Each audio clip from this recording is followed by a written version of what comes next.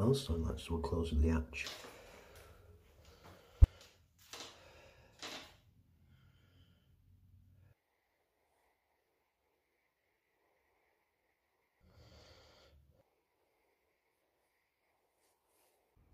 Hello?